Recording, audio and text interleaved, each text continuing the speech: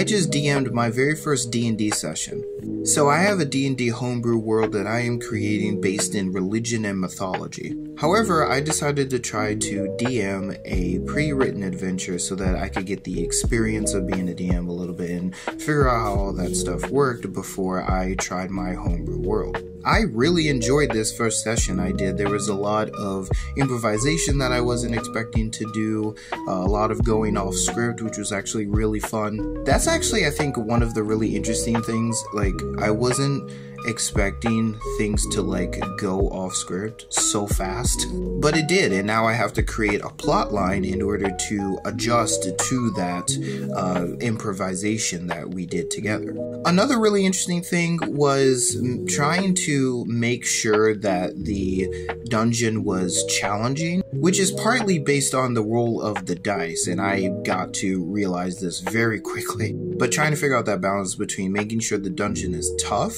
but not impossible is really interesting to me.